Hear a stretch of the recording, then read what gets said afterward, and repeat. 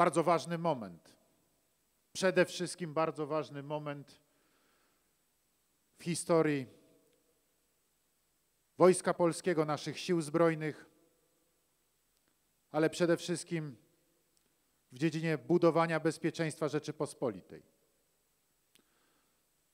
Cztery lata temu, w 2014 roku, wprowadzono reformę, której rozwiązania, reformę systemu kierowania i dowodzenia siłami zbrojnymi, której rozwiązania okazały się nietrafione.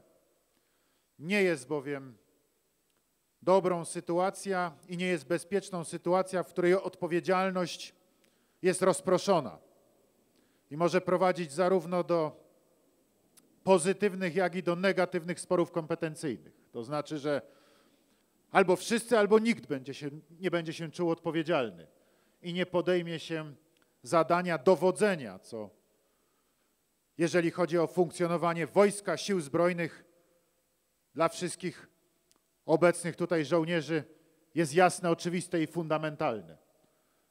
Potrzebny jest dowódca. Potrzebny jest głównodowodzący. Właśnie w tej chwili, dokładnie od 23 grudnia, wejdzie w życie pierwsza część reformy systemu kierowania i dowodzenia, którą nazywamy umownie i potocznie małym skidem.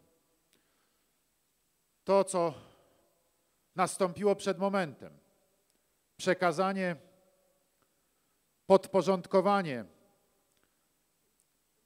dowódcy generalnego rodzaju sił zbrojnych, dowódcy operacyjnego rodzaju sił zbrojnych i szefa Inspektoratu Wsparcia Sił Zbrojnych pod komendę, pod dowództwo szefa sztabu generalnego to właśnie pierwszy element tej reformy. To szef sztabu generalnego staje się pierwszym żołnierzem Rzeczypospolitej w pełnym tego słowa znaczeniu i głównodowodzącym. To na szefie sztabu generalnego spoczywa teraz odpowiedzialność za dowodzenie polskimi siłami zbrojnymi. To, tak jak powiedziałem, pierwszy etap. Chcemy doprowadzić do reaktywacji dowództw rodzajów sił zbrojnych.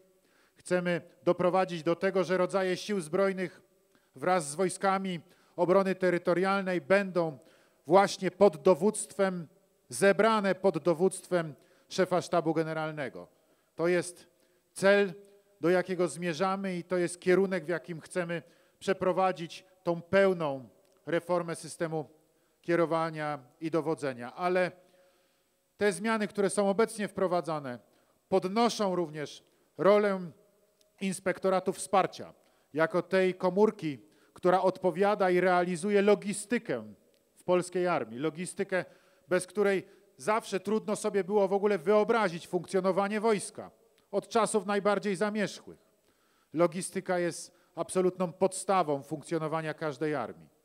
Dlatego doceniając jej ogromne znaczenie, podnosimy rolę Inspektoratu Wsparcia, przekazując go także w bezpośrednie dowództwo szefa Sztabu Generalnego. Panie generale, życzę panu powodzenia w realizacji tej misji. Wielka odpowiedzialność, ale i wielki zaszczyt być szefem Sztabu Generalnego w takiej właśnie postaci dowódczej. Gratuluję tego, panie generale, i cieszę się, że tą odpowiedzialność pan na siebie przyjął. Jestem przekonany, że pan temu niezwykle ważnemu, a i wielkiemu zadaniu podoła.